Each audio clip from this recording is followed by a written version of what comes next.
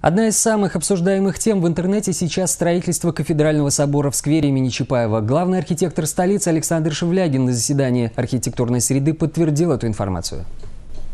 В сети немедленно появилось множество комментариев как за, так и против строительства. Некоторые пользователи даже нарисовали картину, как это может выглядеть в будущем. Более предметно этот вопрос городские власти планируют обсудить на публичных слушаниях, которые пройдут 9 апреля в средней школе номер 10.